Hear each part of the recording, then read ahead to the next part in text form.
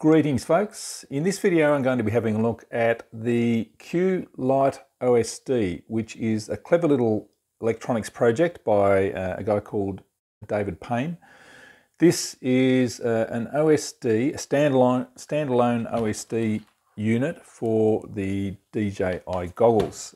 It doesn't need a flight control board, can plug a GPS into it and you run a DJI air unit or, or uh, air unit Lite through it. So it's based on the Wemos D1 Mini microcontroller board. It's a fun little soldering project. So we have the Wemos D1 microcontroller board and then you solder on the pin headers. There's a barometer on board and a voltage regulator as well. So uh, I'll just go in closer and have a look at all the components that come in the kit and you get a QR code to take you to a build video, a couple of little resistors that you need to solder on. There is a very thorough build video and PDF available. It's hosted on GitHub so you can get all the information there and I'll show you that in a little bit more detail. There's the little voltage regulator, header pins, the main board, so here's the assembly PDF and you can see there's the, the main board. DJI plugs in here, ground, battery and transmitter. Make sure you get the polarity around the correct way. GPS plugs in here, voltage, ground and uh, TX and RX.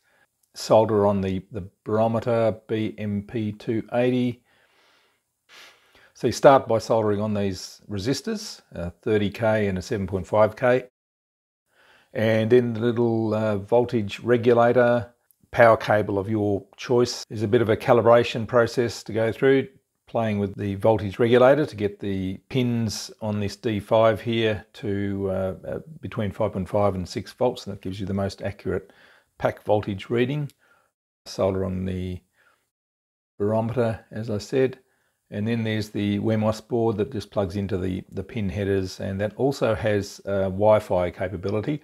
It also records or logs the GPS readings and you can recover that GPS uh, log file using the Wi-Fi mode, uh, which is explained in here as well.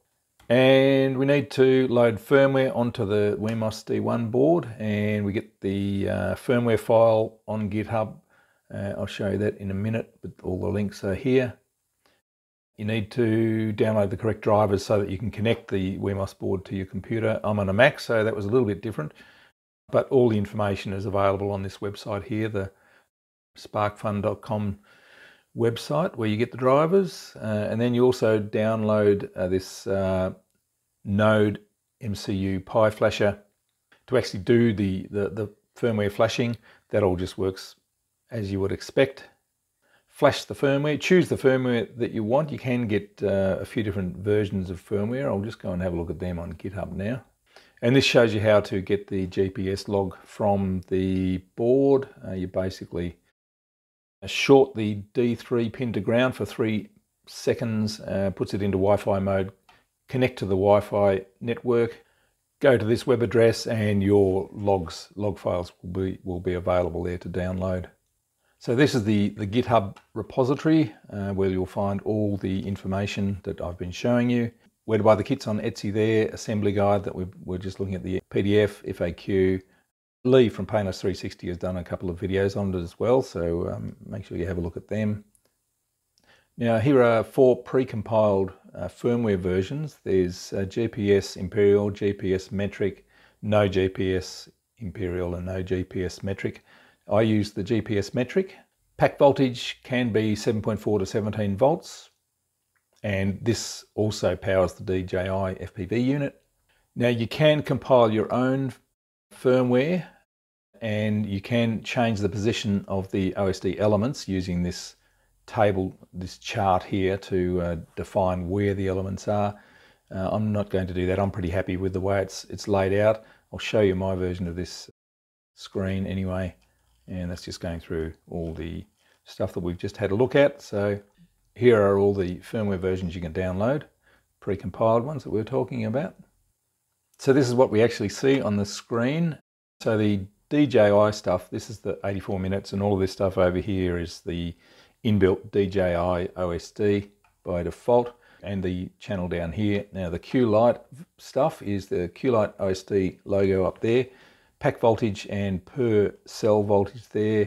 If you have the GPS connected, you will also get the GPS coordinates down here and uh, the barometer will probably give you altitude.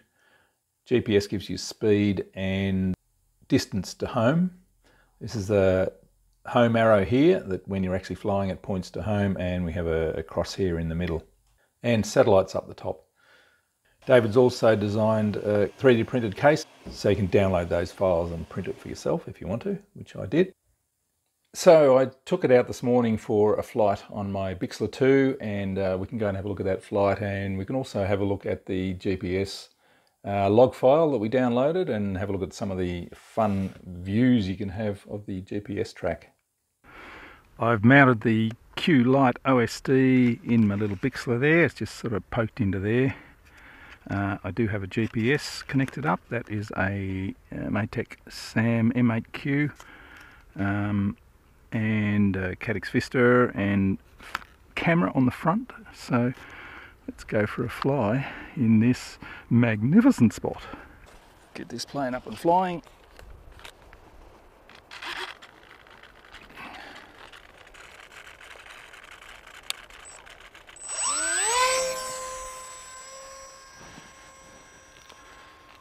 The goggles and whoa, here we go. So no flight control board, so I've got to be careful. We have voltage, man look at that view. Uh, so top left, we have uh, uh, Q-Lite OSD. Uh, top middle we have the direction to home arrow. Um, altitude, speed, height, distance to home, sorry, GPS coordinates, uh, and that is very cool. Have to be careful to remember that I haven't got a, just find out where I am, oh there I am down there. Lonely figure standing on the side of the hill. Cool. So let's fly around a bit. So yeah, if you just want to fly around with a spectacular view and not have the hassle of a flight control board, there you go. That's what it's all about. Flying northeast towards Wright Island and Granite Island in the middle. That is Seal Island out there. This is spectacular. Better keep an eye on my distance to home because I haven't optimized uh, receiver position or anything like that.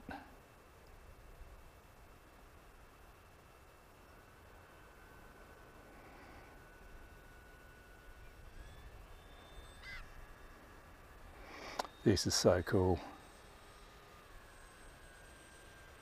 If there's a bit more wind, I'd be able to turn the motor off and just cruise.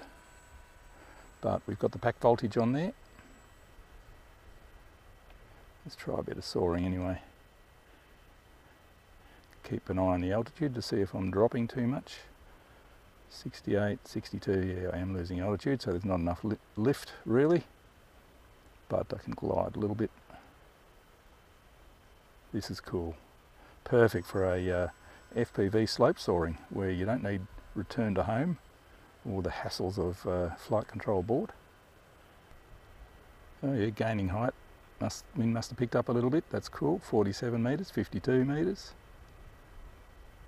Nice. 76 metres, 82 metres, gaining height beautifully. This is cool. 127 metres, the lift has kicked in. 160 metres, gosh. This is cool, better not get too far away. RSSI critical. Turn around facing it. Ah, oh, probably around behind. 90, 105, 113. Just picking up lift. Oh, don't go too far out there. Easy to get carried away. 145 metres. Where are we?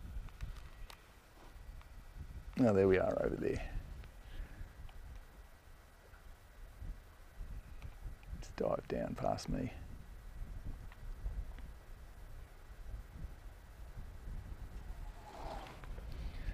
Beautiful. All right, I will bring it into land now.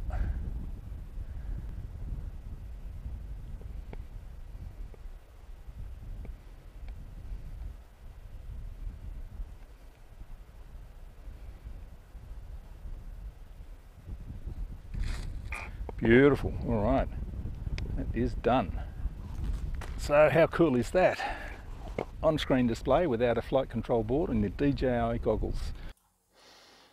Now to view that flight in Google Earth, we download the GPX file like I showed you before, open it up in Google Earth, get rid of that tick box, don't want to tie the altitude to ground and then click OK and then it'll zoom in on your flight. And there we go there and there are a few different views you can have a look at. Uh, the 3D view of the track, which looks pretty cool, shows you where to, you found the lift and where you started and ended and all that sort of stuff.